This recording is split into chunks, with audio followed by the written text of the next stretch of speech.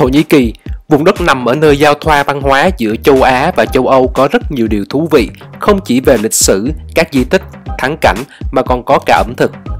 Nhắc đến Thổ Nhĩ Kỳ, nhiều người chắc hẳn sẽ liên tưởng đến ngay món kebab hay bánh mì kebab. Kebab ở đây có nghĩa là các món thịt nướng nói chung.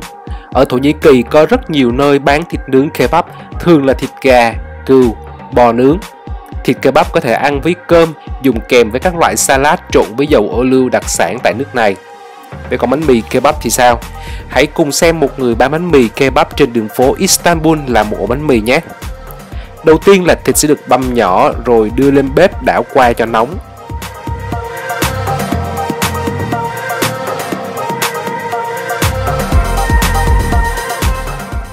Tiếp đó, các loại rau quả như ớt, cà chua cũng được trộn cùng.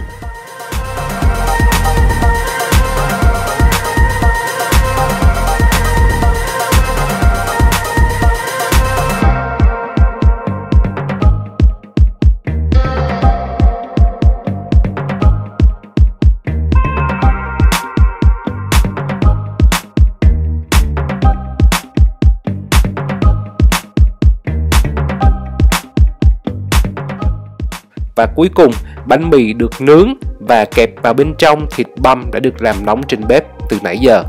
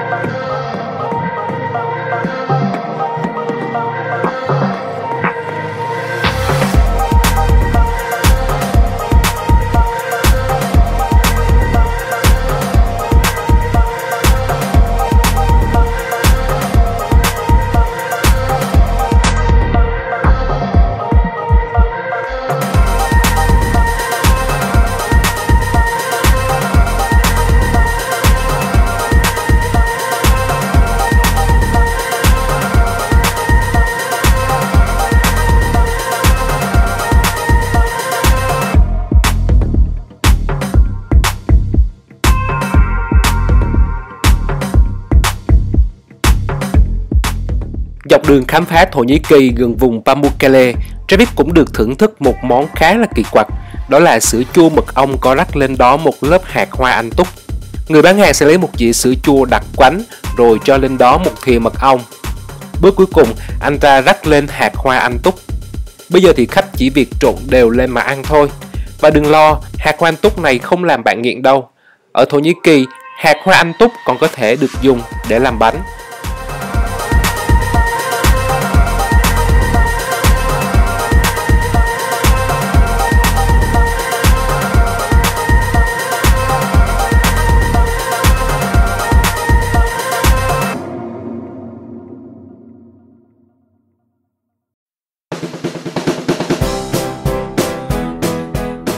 Trong vô vàn các món ngon của Thổ Nhĩ Kỳ, có thể bạn đã nghe đến kem Thổ Nhĩ Kỳ.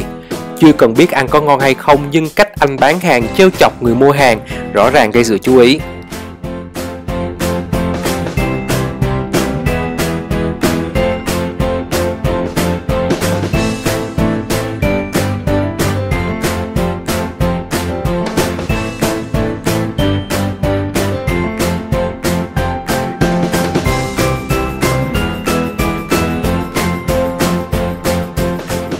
Kem Thổ Nhĩ Kỳ có rất nhiều hương vị để bạn lựa chọn, nhưng điểm đặc biệt ở nó không giống kem ở nơi khác là nó dẻo và lâu bị chảy hơn. Người bán hàng thường dùng một cây sắt dài để lấy kem và cho vào bánh ốc quế. Thường anh ta sẽ trêu chọc người mua hàng để người mua không lấy được kem. Ăn thử kem Thổ Nhĩ Kỳ vừa trải nghiệm được văn hóa, vừa thưởng thức món kem dẻo tuyệt hảo. Ở Thổ Nhĩ Kỳ thì không khó để kiếm được một tiệm kem như vậy.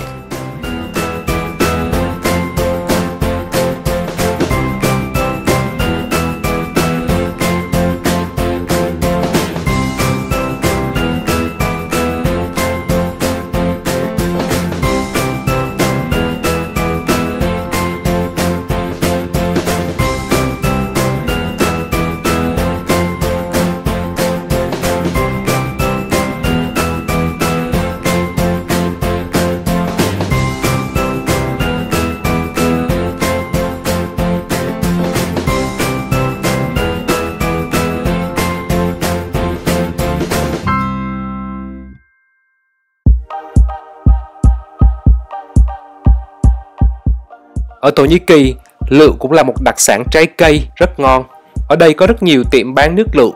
Nước lựu đem lại nhiều lợi ích về sức khỏe và sắc đẹp. Người ta có thể cắt đôi các trái lựu ra rồi cho vào máy ép. Nước lựu chua ngọt, thơm ngon và rất tươi, có thể được pha cùng với nước cam từ những trái cam chín mọng, tạo nên một hương vị tuyệt vời, cung cấp rất nhiều vitamin cho cơ thể. Và đến Thổ Nhĩ Kỳ, các bạn đừng quên thưởng thức thức uống tươi và bổ dưỡng này nhé.